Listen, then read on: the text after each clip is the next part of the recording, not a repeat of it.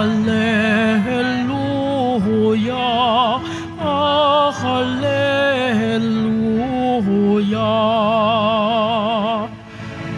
Felipe, ako ang daan, katotohanan at buhay. Amay sakin matatanaw. Ah, Hallelujah, Hallelujah, ah, Hallelujah,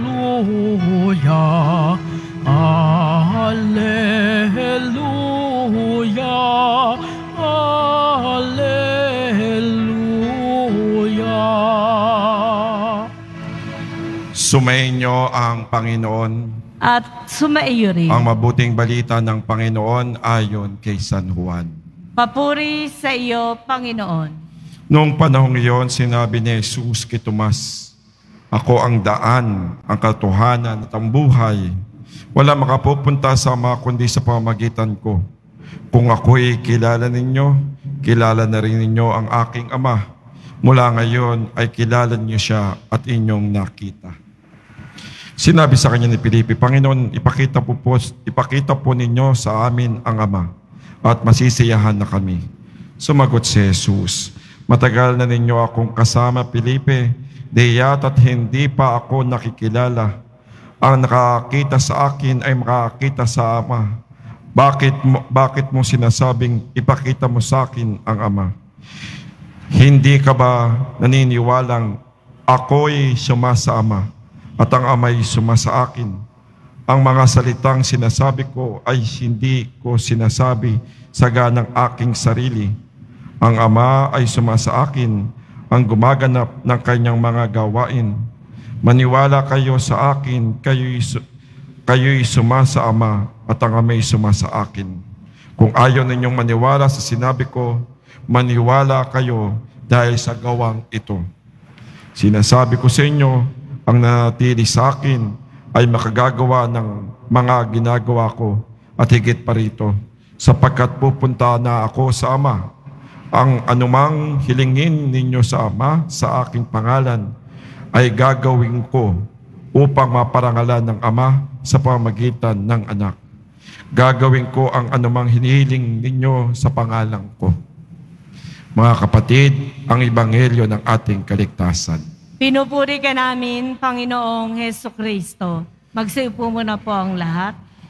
Sa ating patuloy na pagdiriwang ng Easter o muling pagkabuhay ng ating Panginoon, ating pinagninilay-nilayan lagi sa mga araw na ito, yung mga saksi kung paano sila nagpakita ng kanilang karanasan sa muling pagkabuhay ni Jesus. At napakaganda sa araw na ito, dalawang masabi nating totoong naging saksi sa pagkabuhay ng ating Panginoong Heso Kristo. Ito ay ang kanyang alagad na sina Felipe at Santiago. Pero magkakaroon lang ako ng konting kaliwanagan. Yung Santiago po dito, hindi po ito yung Santiago na kapatid ni Juan. Ito po yung Santiago na masabi natin, yung isang Santiago, o kuminsan sa English sabi natin the lesser. Pero hindi ba yung sabihin the lesser, mas mababa ang kanyang ranggo. Pero pinapakita lang natin na masabi natin na siya ay mas nakababata kay San, Santiago. At dito, kung titingnan natin, yung mga alagad, yung mga apostol ni Jesus, may kanya-kanyang mga gawain o kanya-kanyang pagkakaiba. Pero alam natin, kahit hindi popular, alam natin naging mahalaga ang kanilang papel sa pagkapalaganap ng ating pananampalataya. Hindi nga ganong kasikat si San Felipe at Santiago, katulad nila San, nila San Pedro, San Juan at San Pablo, pero alam natin, mahalaga ang kanilang papel na ginampanan. Si Santiago, makikita natin, siya ang unang namuno noong sa mga konseho sa Jerusalem. Hindi si San Pedro, pero si Santiago noong mga panahon na yon. At masabi natin sa konseho na ito, ipinakita ko paano mga alagad nagkatipon-tipon upang pag-usapan ko paano sila magpapahayag na mabuting balita. Pero ipinakita rito yung naging papel ni Santiago noong panahon na yon. Siya'y ginagalang ng kanyang kapwa. Dahil kung makita daw natin, ang buhay ni Santiago ay napababilang sa mga masabi natin samahan na hindi nakatikim ng alak wala pagsilang. Sila ay manatiling masabi natin nagtitika at hindi kumakain ng karne ng mga panahon na yon. At ang kanilang parating gawain ay ang magdasal at masabi natin gumawa ng kabanalan. Kaya nga siguro siya ang namuno sa konsehong ito dahil masabi, dahil sa kanyang pamumuhay, ginagalang siya ng kanyang mga kasama. At dito natin makikita kung paano sa pamumuhay ni Santiago, naging masabi siya uliran na mga masabi ng tagasunod ni Jesus. Kahit masabi natin, naging maliit ang kanyang papel, pero masabi natin, naging dakila naman sa pagkapahayag ng masabi natin, mabuting balita. At katulad lang lahat ng sinapit ng mga apostol, siya rin ay nag-alay ng buhay para kay Kristo. Sa kabilang banda naman, makita natin yung buhay ni San Felipe. Alam natin na banggit siya sa lahat ng mga ng mga ebanghelyo.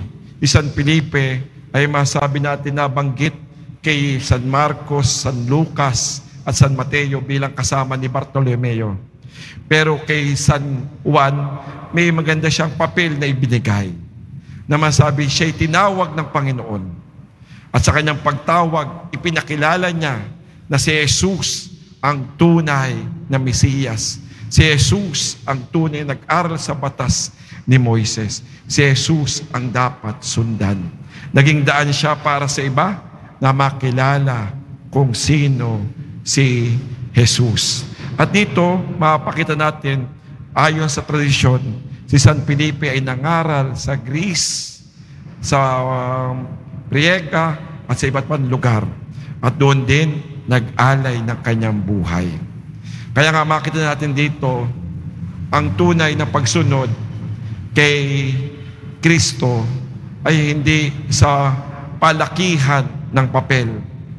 Pero ang tunay na pagsunod kay Kristo ay ang pagbibigay ng sariling buhay.